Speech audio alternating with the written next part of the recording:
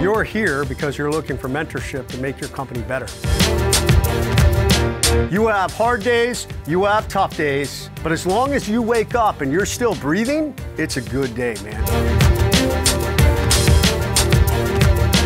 If you have a bad feeling about something you are doing in your life or in business, there is a good chance there's a reason you're having it. Listen to your sixth sense in business. In order to survive, you got to look forward.